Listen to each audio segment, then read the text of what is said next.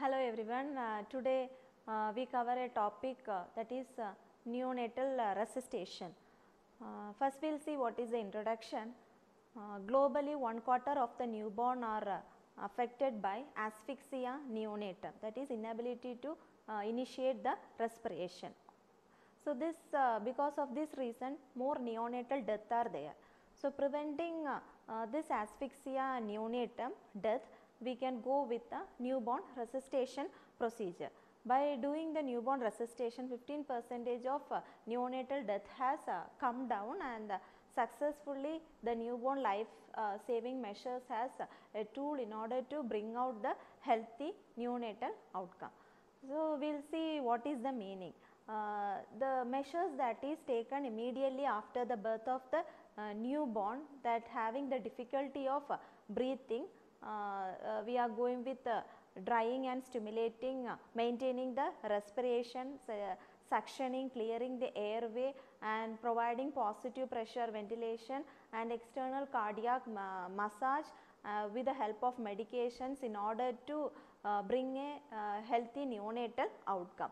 So, this is known as uh, neonatal resuscitation. This is one of the life saving measures of the newborn.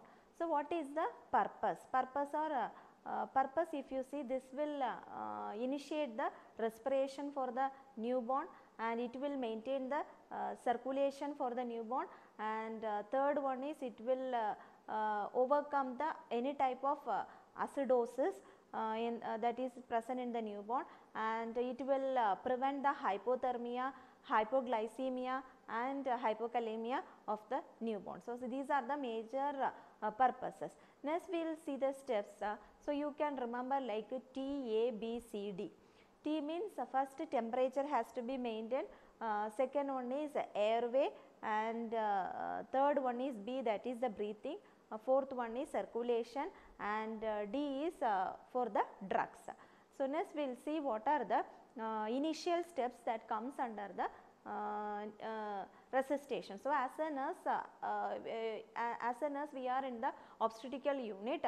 So, we have to see what is the antenatal screening of the mother, what any high risk mother is there, any fetal distress is there. So, that factor has to be monitored and we have to uh, give a information to the uh, neonat uh, neonatologist also to come forward and a skilled uh, uh, nurse has to be there in order to receive the newborn and to give the neonatal resuscitations. So, we have to keep all the articles that is needed for neonatal resuscitation. So, first we will see what are the articles. Articles if you see uh, here uh, Ambu bag is needed, uh, face mask is needed, uh, endotracheal uh, tube is needed and uh, airway is needed and uh, torch, uh, endotracheal tube and uh, stylet is needed and uh, stethoscope uh, needed, mask for the airway and oxygen uh, mask is needed, suction apparatus uh, and uh, suction catheters uh, are needed, mucus sucker, uh, Blanche um, uh, sucker uh, also needed and uh, yeah, if you see uh, uh, if uh, stomach uh, decompression uh, if you want to give uh, so we can give NG tube uh, uh, uh, NG tube or uh, feeding tube is uh, needed to remove the gastric uh, secretions and uh, next uh, if you see uh, drugs drugs such as uh, epinephrine naloxone uh, then next uh, sodium uh, bicarbonate so these are the major uh, drugs and volume expanders also can be kept ready so, uh, next we will see what are the procedure. Procedure in initial step first we have to see immediately after the birth this, this procedure will takes place within 1 minute. So, immediately after the birth we have to see what is the gestational age of the uh, baby and newborn next we have to see whether the baby having a uh, good breathing and what is the color of the baby and what is the muscle tone of the baby.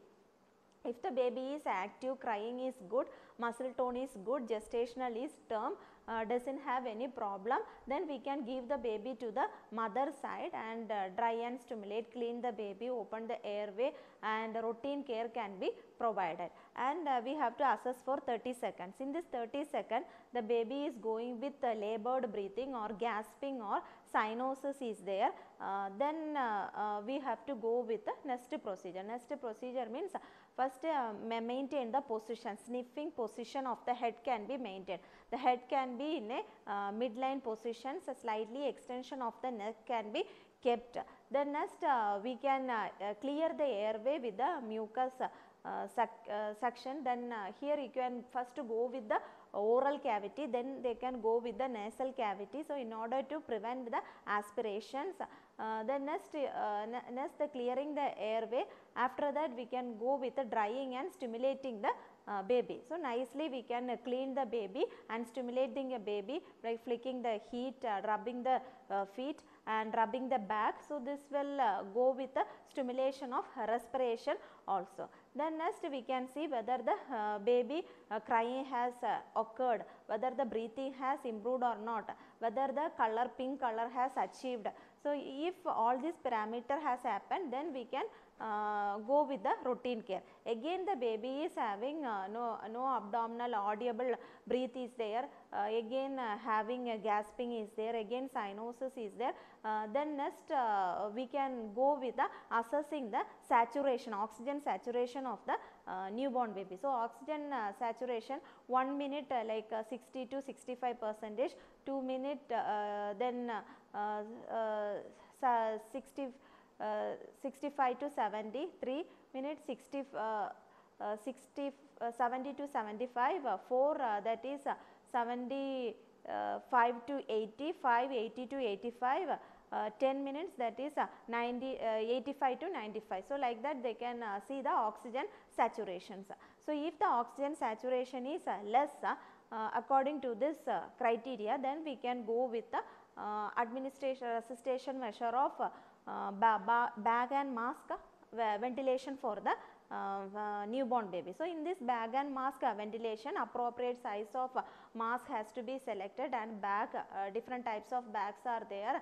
Uh, flow inflating bag, bag was there and self inflating bag is there T-piece resuscitation measure uh, bag is there. So, uh, which is available in the hospital they can take uh, then they can go with the uh, breathing uh, respiration can be given that is the 40 to 60 breaths per minute can be given for the newborn baby. Uh, again uh, if the uh, if the baby is not getting respiration color is cyanosis again we can assess for 30 second and again we can go with some modification reposition the baby and suction the baby the next extension of the head uh, decompression of gastric content if it is present uh, then next uh, uh, next we can uh, uh, see for any abdominal uh, breathing is there for the baby. So, this uh, um, uh, mask is in the appropriate position of the mouth and the nose. So, so these all we can assess and again we can assess whether the baby is uh, newborn baby is getting respiration or not. If the respiration is uh, not achieved the next step is going for chest compression. So, in this chest compression uh, we have to see heart rate of the uh, newborn baby. If the heart rate is uh, less than 100 uh, then we can go with the chest compression after giving the respiration also if it is going uh, le uh, less of heart rate then we can go with the chest compression and ventilation also. So, here if you see uh, 30 breaths plus uh, 90 compression that is totally 120 events can be given. So, the hand uh, the rescuer hand can be placed on the uh, chest level of the newborn encircle the hand the fingers can support the back of the uh, newborn and thumb can be placed on the chest. So, with the thumb method we can give the compression or two finger method we can give the chest compression. So, uh, 3 compression and 1 ventilations can be given for the newborn and this has to be keep one third of the anterior diameter of the chest of the newborn and the, uh, this uh, pressure should not be exceed that is 4 centimeter or 1.5 inches more than uh, it can get injury of the chest. So, slowly we can give the chest compression and uh, uh, ventilation also and we can see uh, how the respiration whether the respiration is improving, oxygen saturation is improving, cyanosis has uh, reduced, heart, heart rate has increased or not.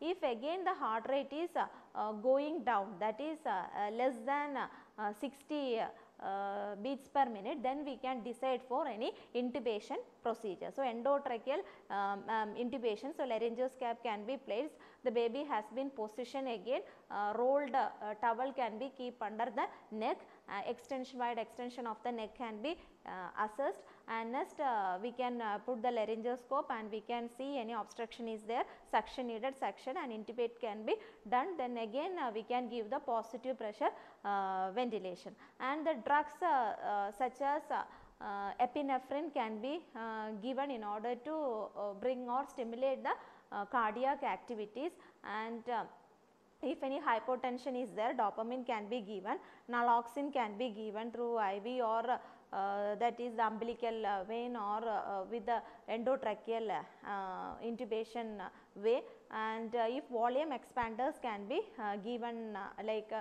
normal saline Ringer lactate uh, uh, solution uh, 5 percentage of uh, plasmas uh, uh, can be given for the newborn babies and sodium bicarbonate if suppose the baby is having metabolic acidosis this can be given. So, these are the some of the uh, life saving uh, drugs uh, that is uh, uh, very much essential in order to bring up the healthy neonatal outcome. So, this, uh, this about the neonatal resuscitation. So, post resuscitation uh, procedure. So, after this resuscitation if the baby is in a good uh, conditions we can give the baby uh, to the mother. So, maintain the uh, temperature and assessing whether any respiratory difficulty is there establish the breastfeeding if does not have any problem to the baby if the baby is in good conditions uh, they can monitor nurse can monitor and continue breastfeeding can be given for the baby. If the baby is weak uh, endotracheal intubations and uh, ventilator support can be given for the baby. So, if the baby is at death we can stop the uh, CPR measures.